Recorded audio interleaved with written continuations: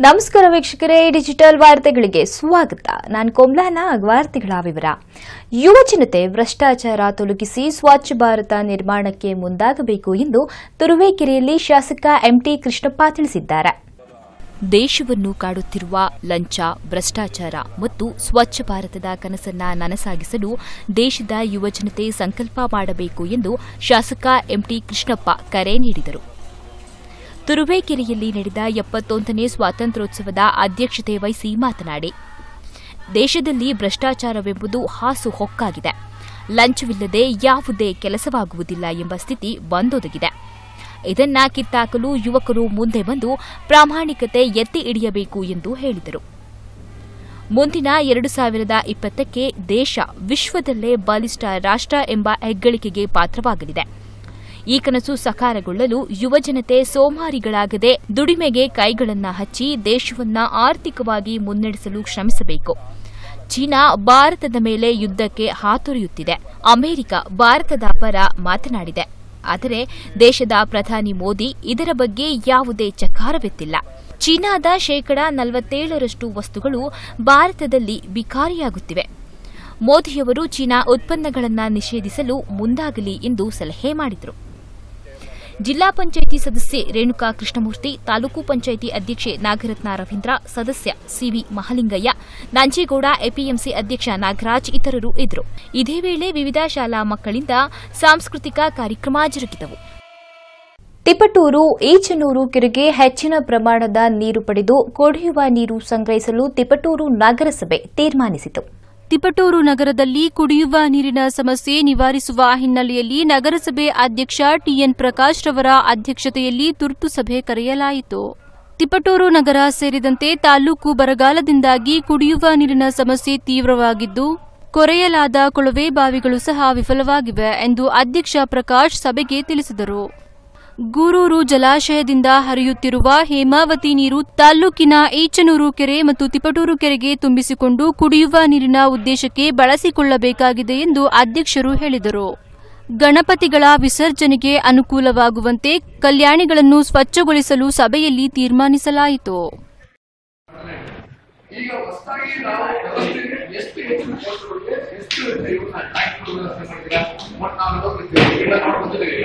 ವ್ಯವಸ್ಥೆ ಬರ್ತಕ್ಕಂಥ ಮಂದಿರ ಈಗ ಕೆರೆ ಆಕಾರ ಕುಡಿತಕ್ಕಂಥ ಸ್ಟೇಟ್ ಈಗ ಹೊಡಿತಕ್ಕಂಥ ಕೆರೆ ಆಯ್ತಾ ಕುಡಿತಾ ಇದೆ. ನಾಳೆ ಬೆಳಗ್ಗೆ ಇವೆಲ್ಲವೂ ರನ್ ಮಾಡಿದ್ರೆ ಅಡಿಷನ್ ಎಷ್ಟು ಹೆಚ್ಚು ಮೋಟಾರ್ಗಳು ಅವಶ್ಯಕತೆ ಇದೆ. ಡಬಲ್ ನೀರು ನಾವು ತಗೊಳ್ಬೇಕು ಇಪ್ಪತ್ತೈದು ದಿವಸಕ್ಕೆ ನೀರು ಮಾಡ್ಕೋಬೇಕು ಅಂತಂದ್ರೆ ಎಷ್ಟು ಮೋಟರ್ಗಳು ಎಷ್ಟು ಎಚ್ ಪಿ ಯಾಕಂದ್ರೆ ಇರೋದು ಅವಕಾಶ ಇಪ್ಪತ್ತೈದು ದಿವಸ. ಹೆಚ್ಚು ಸಭೆಯಲ್ಲಿ ಉಪಾಧ್ಯಕ್ಷೆ ಜಹರಾ ಜಬೀನ್ ಆಯುಕ್ತ ಚಂದ್ರಶೇಖರಯ್ಯ ಹಾಗೂ ಸದಸ್ಯರು ಪಾಲ್ಗೊಂಡು ವಿವಿಧ ವಿಷಯಗಳ ಬಗ್ಗೆ ಚರ್ಚಿಸಿದರು. ಗುಬ್ಬಿ ತಾಲೂಕು ಮಣ್ಣಮ್ಮ ದೇವಸ್ಥಾನ ಆವರಣದಲ್ಲಿ ಶಾಸಕ ಎಸ್ಆರ್ ಶ್ರೀನಿವಾಸ್ ತಮ್ಮ ಪಂಚಾಯಿತಿ ಸ್ವಚ್ಛ ಪಂಚಾಯಿತಿ ಎಂಬ ಸ್ವಚ್ಛತಾ ಅಭಿಯಾನಕ್ಕೆ ಚಾಲನೆ ನೀಡಿದರು. ಗುಬ್ಬಿ ತಾಲೂಕಿನ ಎಲ್ಲಾ ಕೆರೆಗಳಿಗೂ ಸಮಗ್ರವಾಗಿ ನೀರು ಹರಿಸದಿದ್ದರೆ ರಸ್ತೆ ತಡೆ ಚಳುವಳಿ ಮಾಡಲಾಗುತ್ತದೆ ಎಂದು ಶಾಸಕ ಎಸ್ಆರ್ ಶ್ರೀನಿವಾಸ್ ಎಚ್ಚರಿಕೆ ನೀಡಿದ್ದಾರೆ. ತಾಲೂಕಿನ ಮಣ್ಣಮ್ಮ ದೇವಸ್ಥಾನದ ಆವರಣದಲ್ಲಿ ತಾಲೂಕು ಜೆಡಿಎಸ್ ಘಟಕ ಗ್ರಾಮ ಪಂಚಾಯಿತಿ ವತಿಯಿಂದ ಆಯೋಜಿಸಿದ್ದ ನಮ್ಮ ಪಂಚಾಯಿತಿ, ಸ್ವಚ್ಛ ಪಂಚಾಯಿತಿ ಅಭಿಯಾನಕ್ಕೆ ಚಾಲನೆ ನೀಡಿದ ಅವರು, ತಾಲ್ಲೂಕಿಗೆ ಜಿಲ್ಲಾ ಕೆಡಿಪಿ ಸಭೆಯಲ್ಲಿ ನಿರ್ಣಯವಾಗಿರುವಂತೆ ಇಪ್ಪತ್ತೈದು ದಿನಗಳ ಕಾಲ ಎಲ್ಲಾ ಕೆರೆಗಳಿಗೂ ಶೇಕಡಾ ನಲವತ್ತರಷ್ಟು ನೀರನ್ನು ಹರಿಸಬೇಕು ಎಂದರು. ಬಹುಗ್ರಾಮ ಕುಡಿಯುವ ನೀರಿನ ಯೋಜನೆಗಳು ಕೇವಲ ಕಾಮಗಾರಿಗಳು ಪೂರ್ಣಗೊಂಡಿದ್ದು ವಿದ್ಯುತ್ ಸಂಪರ್ಕ ಕೊಡುವುದು ಬಾಕಿ ಇರುವುದರಿಂದ ಬೆಸ್ಕಾಂ ಅಧಿಕಾರಿಗಳನ್ನು ಸಭೆ ಕರೆದು ತ್ವರಿತವಾಗಿ ವಿದ್ಯುತ್ ಸಂಪರ್ಕವನ್ನು ಕಲ್ಪಿಸುವಂತೆ ಸೂಚಿಸಿದ್ದೇನೆ ಎಂದರು. ಕುಡಿಯುವ ನೀರಿಗಾಗಿ ವ್ಯಯ ಮಾಡಿರುವ ಇಪ್ಪತ್ತು ಪಾಯಿಂಟ್ ಐದು ಸೊನ್ನೆ ಕೋಟಿ ರುಗಳನ್ನು ಸರ್ಕಾರ ಬಿಡುಗಡೆ ಮಾಡಲ್ಲ. ಅಕ್ರಮವಾಗಿ ಪಂಪ್ಸೆಟ್ ಅಳವಡಿಸಿಕೊಂಡಿರುವ ರೈತರಿಗೆ ವಿದ್ಯುತ್ ಕಡಿತ ಮಾಡಿ ಎಂದು ಜಿಲ್ಲಾಡಳಿತ ಸೂಚಿಸಿದೆ.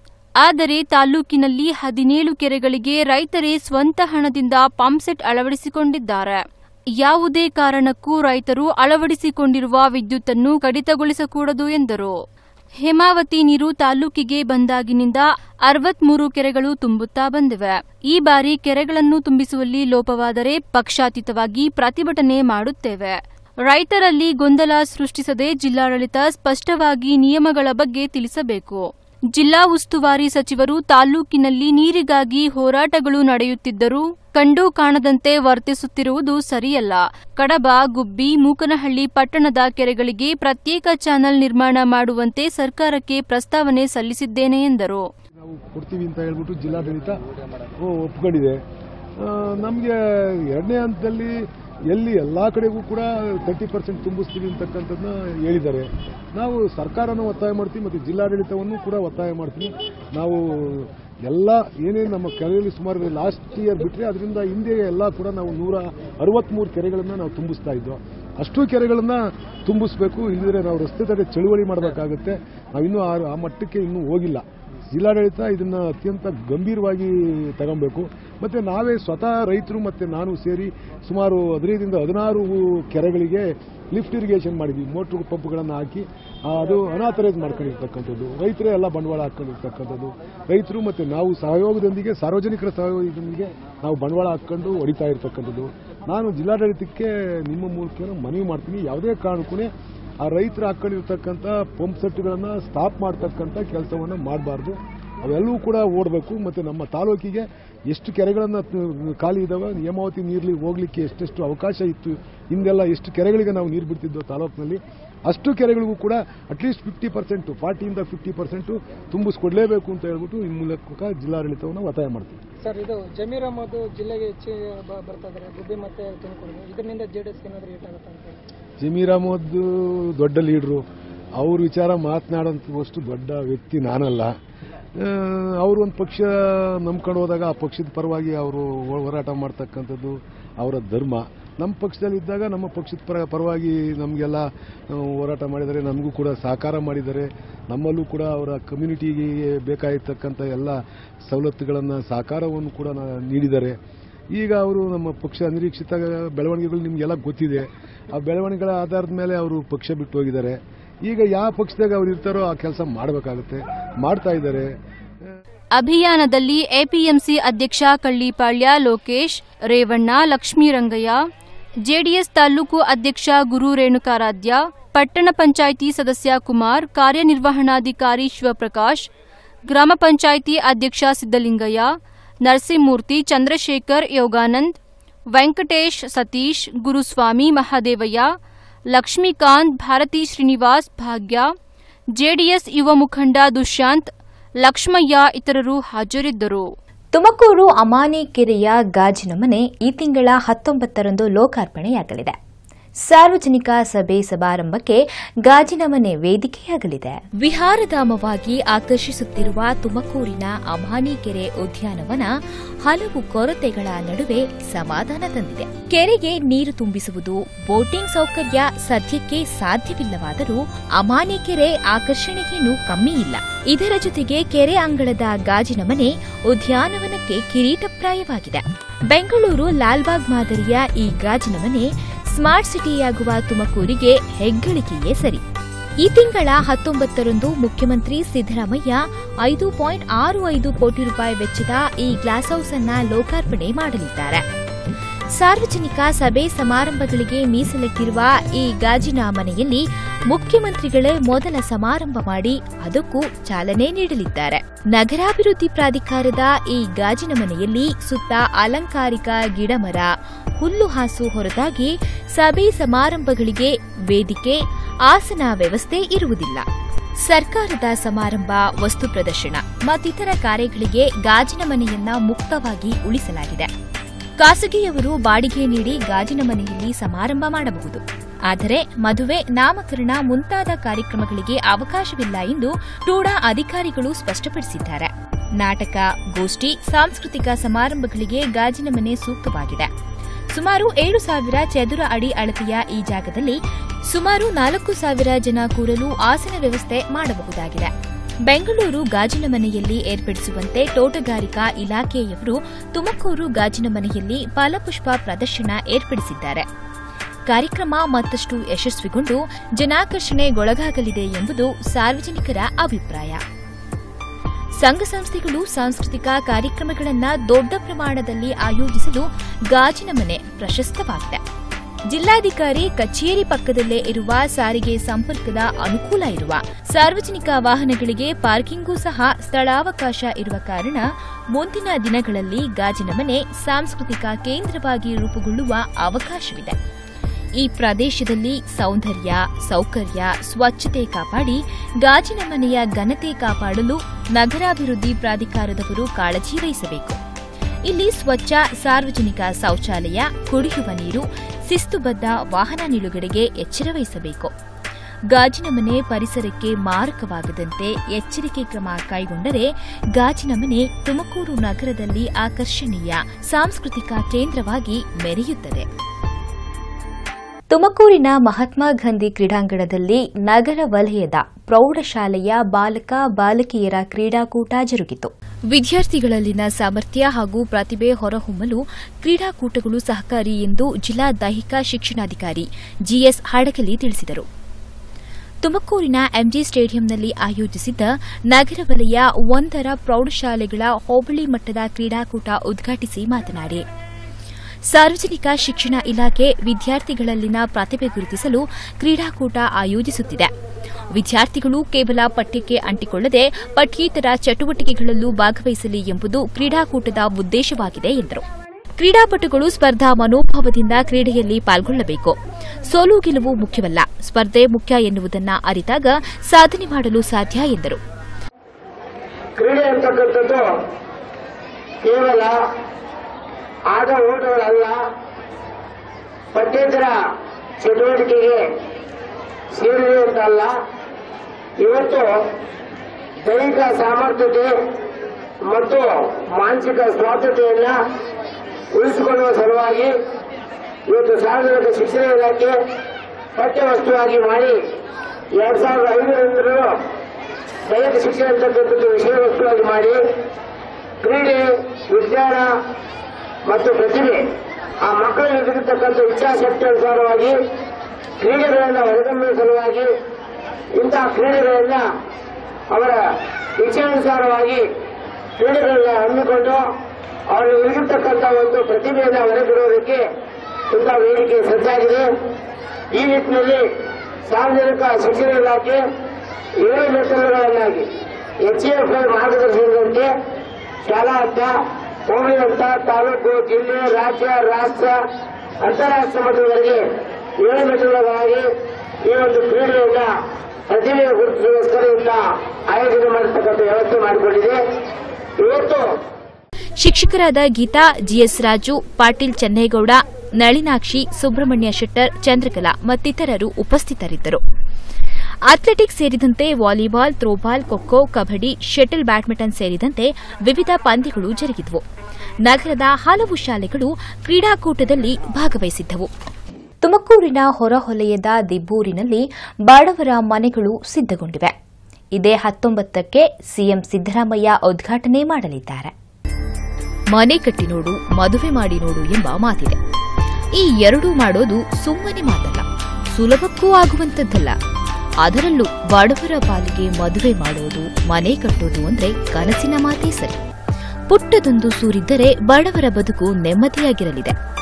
ಈ ನಿಟ್ಟಿನಲ್ಲಿ ಯೋಚಿಸಿದ ಸರ್ಕಾರ, ತುಮಕೂರಿನ ಹೊರಹಲಯದ ದಿಬ್ಬೂರಿನಲ್ಲಿ ಅಪಾರ್ಟ್ಮೆಂಟ್ ಮಾದರಿಯಲ್ಲಿ ಬಡವರಿಗೆ ಮನೆಗಳನ್ನು ನಿರ್ಮಿಸಿದ್ದಾರೆ. ರಾಜೀವ್ ಆವಾಸ್ ಯೋಜನೆಯಲ್ಲಿ ಸುಮಾರು ಎಪ್ಪತ್ಮೂರು ಕೋಟಿ ರೂಪಾಯಿ ವೆಚ್ಚದಲ್ಲಿ ಸಾವಿರದ ಇನ್ನೂರ ಮನೆಗಳನ್ನು ನಿರ್ಮಿಸಿದೆ. ಇದರ ಉದ್ಘಾಟನೆಗೂ ದಿನಗಣನೆ ಆರಂಭವಾಗಿದೆ. ಇದೇ ಹತ್ತೊಂಬತ್ತರಂದು ಸಿಎಂ ಸಿದ್ದರಾಮಯ್ಯ ಆಗಮಿಸಿ ಬಡವರ ಮನೆಗಳನ್ನು ಉದ್ಘಾಟಿಸಲಿದ್ದಾರೆ.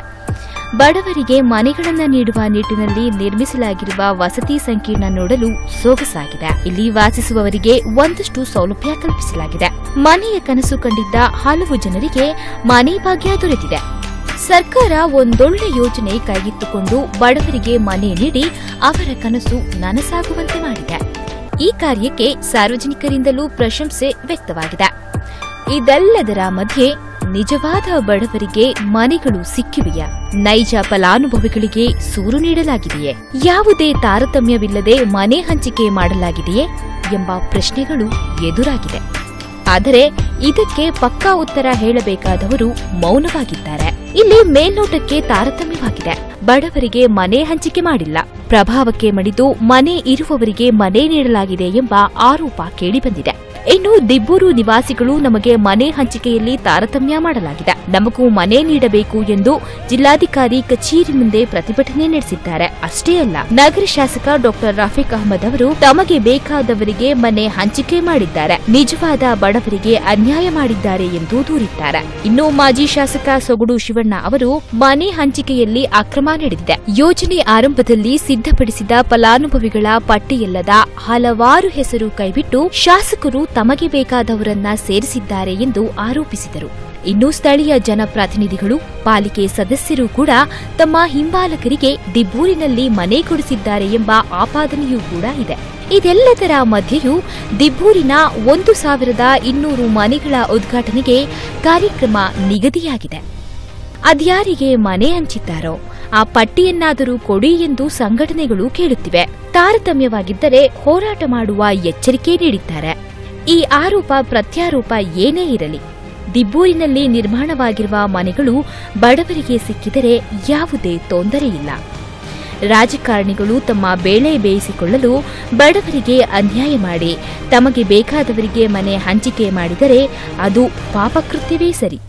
ಬಡವರ ಹೆಸರಿನಲ್ಲಿ ಅವರ ಹೊಟ್ಟೆ ಮೇಲೆ ಹೊಡೆಯುವುದನ್ನ ಆ ದೇವರು ಕ್ಷಮಿಸಲಾರನು. ಇದು ಆಳುವ ಮಂದಿಗೆ ಅರ್ಥವಾದರೆ ಒಳ್ಳೆಯದು.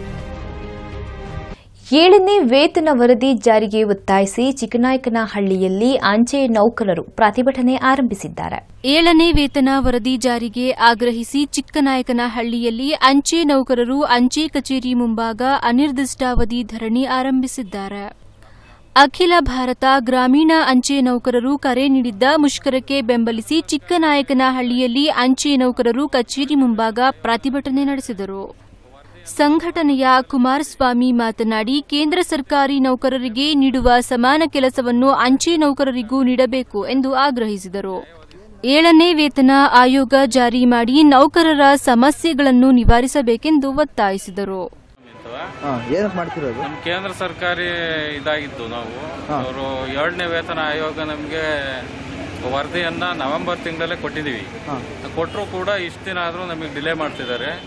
ಆದಷ್ಟು ಬೇಗ ಕೇಂದ್ರ ಸರ್ಕಾರ ಇದನ್ನ ಬಿಡುಗಡೆ ಮಾಡಿ ನಮಗೆ ನ್ಯಾಯವಾದಿ ಅಂತ ಏಳನೇ ವೇತನ ಆಯೋಗವ ಆ ವರದಿಯನ್ನ ಶೀಘ್ರದಲ್ಲಿ ಬಿಡುಗಡೆ ಮಾಡಿ. ಎಷ್ಟು ಅಂಚೆ ನೌಕರರಿಗೆ ಕೇವಲ ಮೂರು ಗಂಟೆಗಳ ಕಾಲ ಕೆಲಸ ನೀಡದೆ ಎಂಟು ಗಂಟೆಗಳ ಕಾಲ ಕೆಲಸ ನೀಡಿ.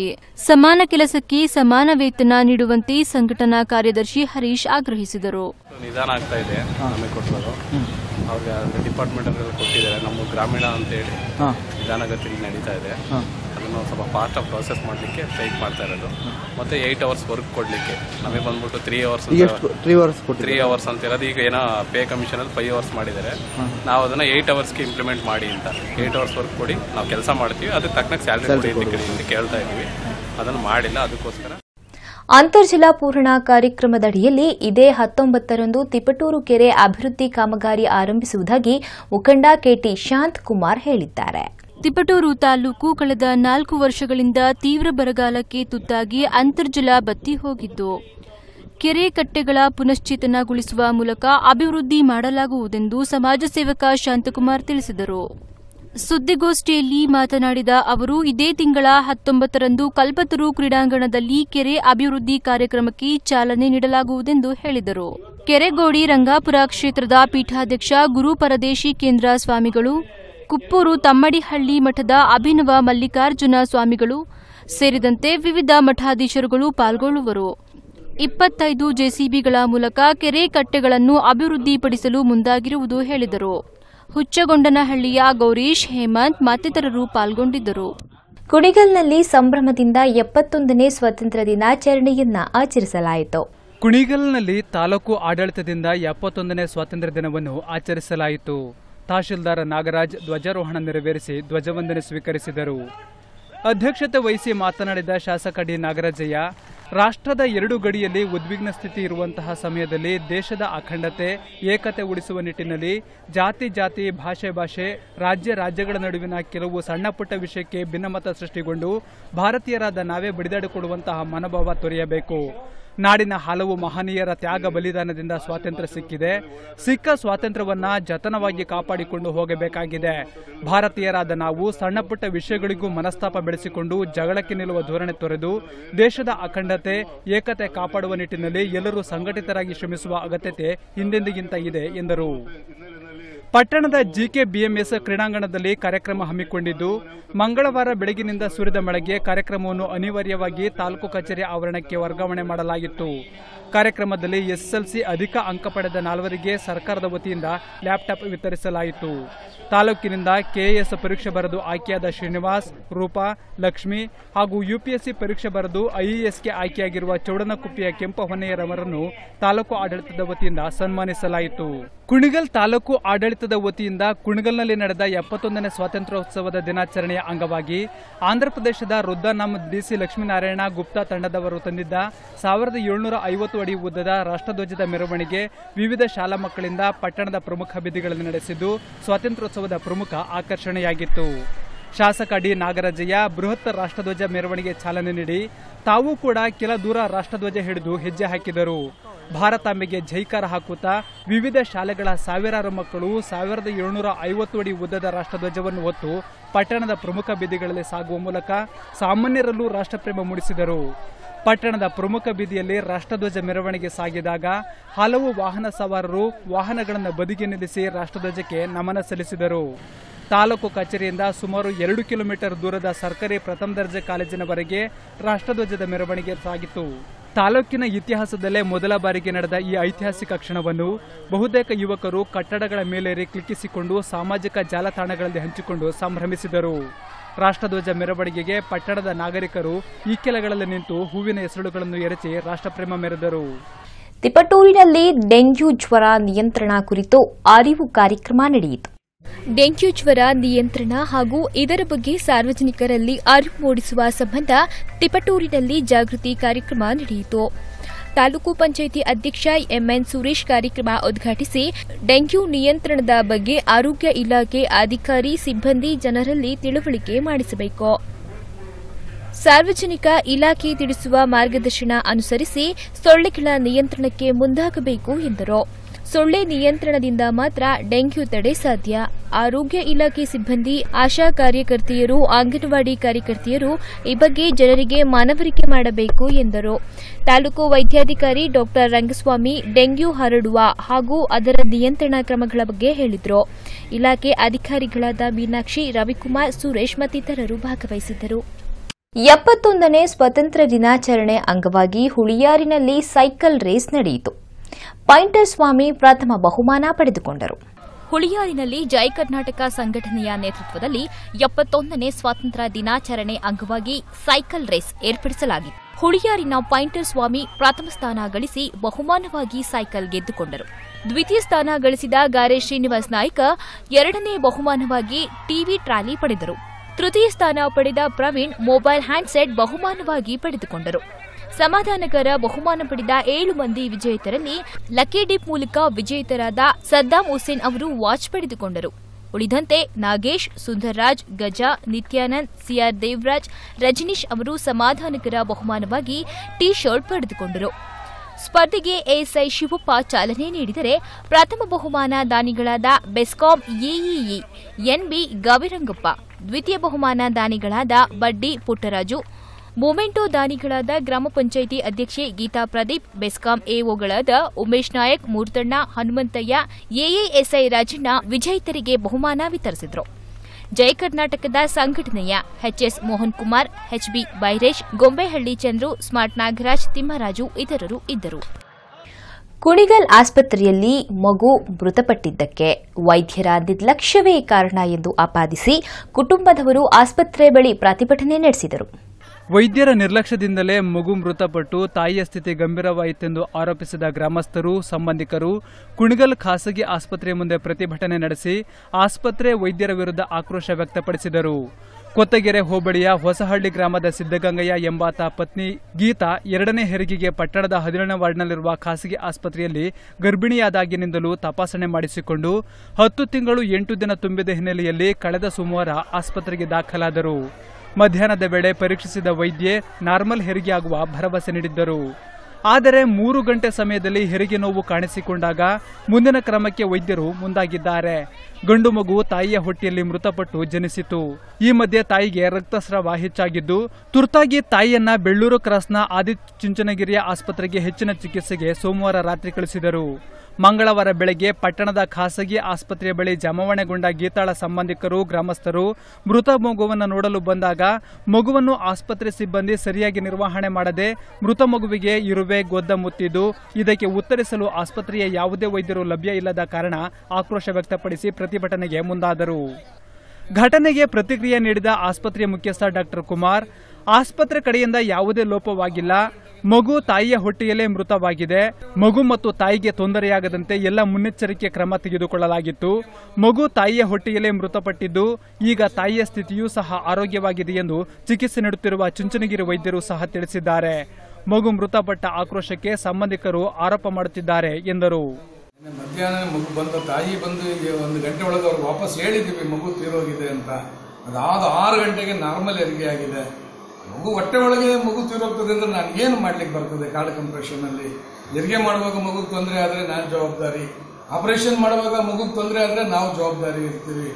ಹೊಟ್ಟೆ ಒಳಗೆ ಏನೋ ಆದರೆ ಏನೋ ಸಮ- ಸಮಸ್ಯೆಗಳಾದಾಗ ನಾವೇನು ಮಾಡ್ಲಿಕ್ಕೆ ಬರೋದಿಲ್ಲ. ಇದೆಲ್ಲ ಅಕ್ಯೂಟ್ ಎಮರ್ಜೆನ್ಸಿಗಳು ನಾವು ತಾಯಿನೂ ಇವತ್ತು ಆರೋಗ್ಯವಾಗಿದ್ದಾರೆ. ತಾಯಿಗೇನು ಸಮಸ್ಯೆ ಇಲ್ಲ.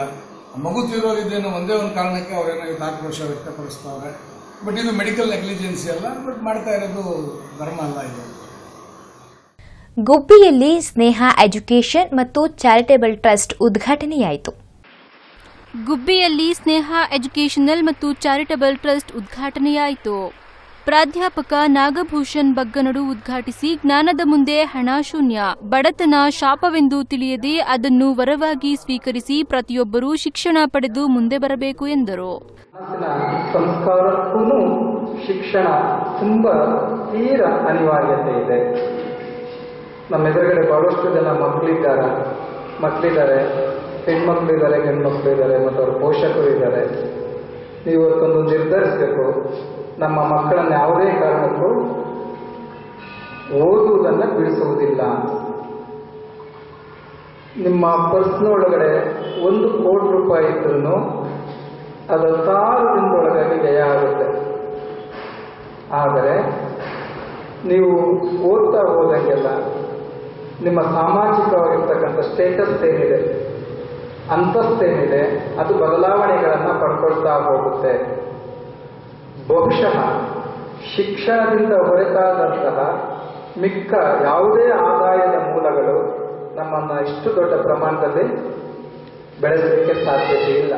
ಮೊಹಮ್ಮದ್ ಶಫಿ ಗಂಗಾಧರಯ್ಯ, ಪಟ್ಟಣ ಪಂಚಾಯಿತಿ ಸದಸ್ಯ ಮೊಹಮ್ಮದ್ ಸಾದಿಕ್ ರಿಜ್ವಾನ್ ಸಲೀಂ ಪಾಷಾ ಕರಿಯಪ್ಪ ಮೊದಲಾದವರು ಭಾಗವಹಿಸಿದ್ದರು.